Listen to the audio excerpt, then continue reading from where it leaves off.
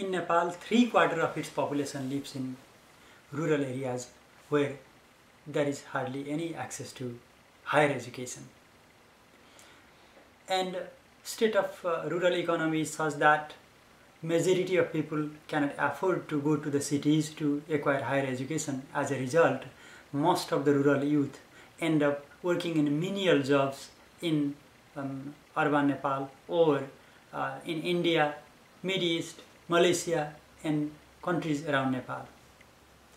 And those small number of Nepalis who could go, um, uh, afford to come to the cities and acquire good quality education, they end up staying in the cities or even they may move to the foreign countries and settle there and never go back. And the result of this is that rural Nepal is full of women, children, elderly and greatly underprivileged people. And transforming their life has become a really uphill battle for Nepal.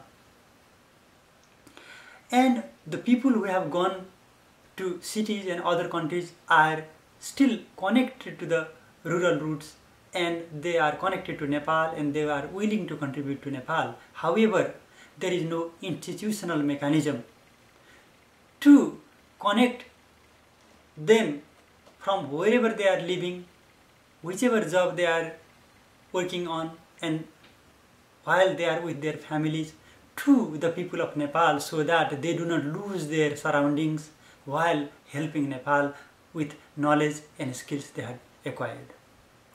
And also, all around the world, there are great institutions where the knowledge is freely available. These institutions were making knowledge available. However, we have no institutional mechanism to harvest that knowledge and take it to the people of Nepal.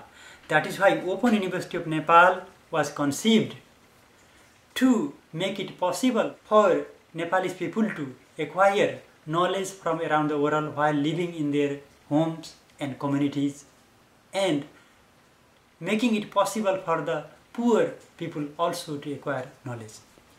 And Open University of Nepal has been conceived based on five principles. The first principle is the public and universal access to higher education. And the second is the quality principle where the quality delivered by this institution should be at par with the world so that it is fully accredited and fully recognized by the world. And thirdly, the education should be delivered wherever people are living. Not it should require that people come back to the cities to acquire education and it should be delivered at a time that is convenient to the people. And fourthly it should respond to the current and contemporary employment need of the people and knowledge need of the people. And fifthly it should be sustainable so that it would serve the people for a long time to come and that's why the non-resident Nepalese Association and Athabasca University and Canada Foundation for Nepal are collaborating with the government of Nepal to build Open University of Nepal as an institution that could serve Nepalese for a long time to come and we would like you all to come on board and be part of it. People who love Nepal and people who love education should all help and make this institution a success. Thank you.